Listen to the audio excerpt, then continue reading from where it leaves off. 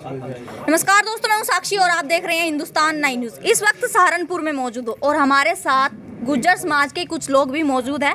बहुत टाइम से एक मुद्दा चल रहा है गुज्जर समाज को लेकर। अभी एक मुद्दा और नया छिड़ गया, ये है पृथ्वीराज, जो मूवी आने वाली है, इसको लेकर। अभी कुछ लोग हैं जो गुज्जर समाज के ही हैं। ये कुछ अपना विचार रखना चाहते हैं कि जो गुर्जर का एक इतिहास है वो किस तरह का रहा है? और ये भैया बोल रहे थे कि उनके गुर्जर का इतिहास बताने वाले हैं। और साथ ही साथ इसके वो भी बताएँगे कि पृथ्वीराज जो है उनका जन्म कब हुआ था। यही बताने वाले हैं। हाँ जी। तो मेरा नाम है कुंवर विराट तंवर गाँव बांधुखेड़ी से। जी। मेरा जो सवाल है वो यशराज फ़िल्म के लिए है। अगर उन्होंने जो उनका कहना है कि उन्होंने गुर्जर सम्राट पृथ्वीराज चौहान पे थोड़ी रिसर्च करके मूवी पृथ्वीराज। पृथ्वीराज चौहान जी। पे जो उन्होंने मूवी बनाई है रिसर्च करके तो मैं उनसे पूछना चाहता हूँ जो पृथ्वीराज चौहान के पूर्वज थे तीन पीढ़ी पहले बिसल देव चौहान उनके भाई मांडल देव चौहान के वंश में देवनारायण चौहान का जन्म हुआ जिनको पूरी दुनिया जानती है वो गुर्जर समाज से थे। और एक बात मैं और यहाँ पे बता दूँ जो पृथ्वीराज चौहान थे उनके भाई का नाम था हरिराज चौहान। जिस टाइम पे पृथ्वीराज चौहान युद्ध हार गए तो उनके भाई हरिराज चौहान ने यहाँ पे आके सहारनपुर में कैराना में चौरासी गाँव बसाए। हरिराज चौहान के साथ उनके तीन लड़के आए कलस्याराज देवराज और दीपराज। कलस्याराज के वंशज कलस्याण गुज्जर आज भी हैं, जिनके चौरासी गाँव सहारनपुर में है। देवराज और दीपराज की जागीरदारी मुंडलाना में है, जहाँ पे हमारी कुछ टाइम बाद प्रेस कॉन्फ्रेंस होगी हरिद्वार के पास में। और एक सवाल मैं और उनसे पूछता हूँ, पन्ना धाई के बारे में कौन नहीं जानता? सभी लोग पन्नाधाय से परिचित है जिनकी वजह से जो महाराणा प्रताप थे उनका वंश बच पाया। लेकिन आपको पता है जो पन्नाधाय थी उनके पति का नाम सूरजमल चौहान था। तो उस टाइम पे भी चौहान थे 1500 ईस्वी में भी 1100 ईस्वी में भी और जब 911 में देवनारायण चौहान का जन्म हुआ उस टाइम पे भी चौहान थे। तो ऐसा कैसे हो सकता है कि देवनारायण चौहान तो गुज्जर है और जो उनके दूसरे भाई हैं पृथ्वीराज चौहान वो दूसरी कास्ट में हो गए। और जो दूसरा समाज है जो कहता है कि हम पृथ्वीराज चौहान के वंशज है मैं उनके लिए सिर्फ़ एक ही बात कहूँगा जो भारतीय मुस्लिम है वो कह, वो गर्व से कहते हैं कि हमारे पूर्वज श्री राम है, लेकिन इससे ये साबित नहीं होता कि श्री राम मुस्लिम थे। पृथ्वीराज चौहान उनके पूर्वज ज़रूर हो सकते हैं, लेकिन उससे पृथ्वीराज चौहान की जाति नहीं बदल जाएगी। उनकी जाति वही रहेगी जो पुराने दस्तावेज़ में या जो समकालीन साहित्य है, पृथ्वीराज विजय, जो उसमें उनकी जाति लिखी हुई है, और हमारी यही मांग है कि मूवी में भी उनकी जाति वही दिखाई जाए। आपने अपने बुज़ुर्ग बुज़ुर्ग लोगों से बात की आसपास? हाँ जी बिल्कुल बुज़ुर्गों से हमने बात की है।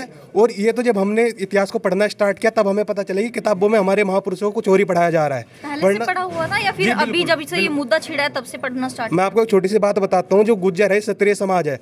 और इनके यहाँ पे भाटों का बहुत बड़ा योगदान है। जो भाट होते हैं राव भाट वो हमारी वंशावली लिखते हैं स्टार्टिंग से लेके आखिरी तक। भाट हमारे यहाँ पे कोई डेढ़ दो साल से नहीं आए। पिछले हज़ार साल से कैराना में गुजरों के भाट आते हैं और वो उनको पूरा विस्तार से बताते हैं कि आप हरिराज चौहान के वंशज हैं। तो हमारे पास पृथ्वीराज चौहान से लेकर अपनी वर्तमान तक की वंशावली अवेलेबल है और जितने भी डॉक्यूमेंट्स हैं सब हमारे पास है। आपने भाट से भी बात की है। हाँ जी हमने भाट से बात की हुई है अपनी और सिर्फ़ चौहानों के भाट की नहीं प्रतिहारों के तंवर के सारे भाट हमारे पास है। हमारे पास पूरा रिकॉर्ड पृथ्वीराज चौहान तक का अवेलेबल है। और एक बात मैं आपको और बता दूँ यहाँ पे जहाँ पे जहाँ के राजा थे पृथ्वीराज चौहान अजमेर वहाँ पे भी बावन चौहान गुजरों के गाँव आज भी है। वहाँ पे। देखिए अभी मुद्दा तो है काफ़ी टाइम से चला हुआ है। लेकिन राजपूत कहीं नहीं दिख रहे इस मामले में। गुजर है वो काफ़ी ज़्यादा रोष में है। वो इसलिए दिखाई नहीं दे रहे अगर वो सामने आएँगे तो उनको सबूत दिखाने पड़ेंगे। और उनके पास कोई भी पुख्ता सबूत इस बात का नहीं है कि जो पृथ्वीराज चौहान थे वो राजपूत थे। कहीं इसलिए तो ना बैठे हो कि करने तो मेहनत जितनी कर रहे हैं तो हमारे ही नहीं ऐसा नहीं हो सकता क्योंकि अगर अगर गुर्जरों ने अपनी मांग उठाई है तो कुछ दस्तावेजों के बेस पे ही अपनी बात उठाई है। और जितने भी जो पृथ्वीराज चौहान थे, उनके दरबारी कवि हुए जन नायक। आज से हज़ार साल पहले जो उन्होंने किताब लिखी है, पृथ्वीराज विजय तो उसमें उनको साफ़ साफ़ गुर्जर लिखा, कहीं पर भी राजपूत समाज का उसमें नाम नहीं है। जी। सहारनपुर से कितना समर्थन मिलने वाला है?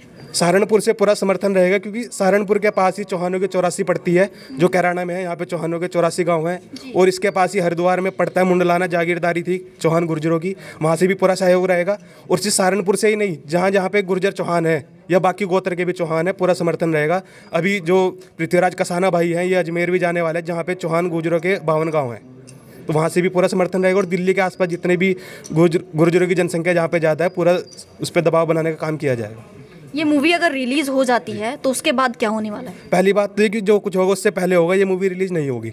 अगर मूवी रिलीज़ होगी तो हमें लिखित में चाहिए कि इसमें गुर्जर सम्राट ही पृथ्वीराज चौहान को दिखाया जाएगा। वरना अगर वो लोग हम सोच रहे हैं कि गुर्जर समाज शांत रहेगा तो उनको एक बार राजस्थान का गुर्जर आरक्षण देख लेना चाहिए। उनको पता लग जाएगा जो गुर्जर एक सरकार को झुका सकते हैं ये तो फिर भी एक कंपनी है इसकी तो हैसियत ही क्या है?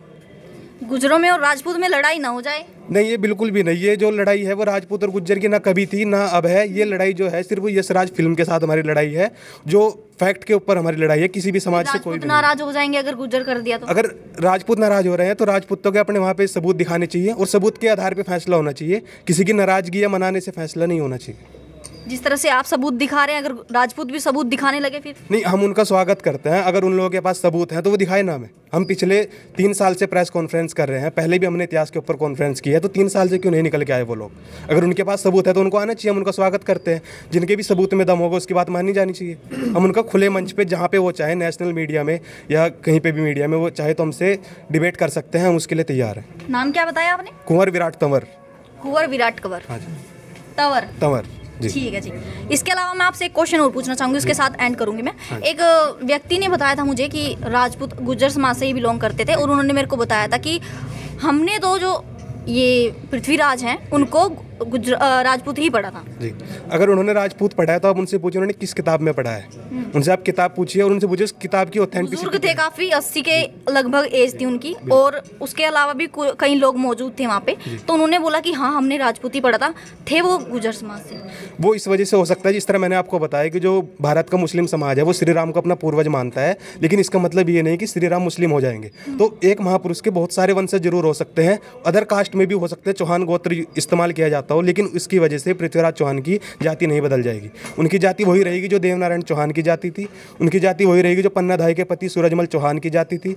या जो अजमेर में ये एक जगह पड़ती है, कनकावती नगर, वो भी कनकावती चौहान हुई है। चौहान सिर्फ़ यहाँ पे चौरासी गाँव ही नहीं है, अजमेर में भी बावन गाँव है, जैसे मैंने आपको बताया। और राजस्थान के बहुत बड़े एरिया में चौहान गुर्जर अभी भी निवास करते हैं। धन्यवाद।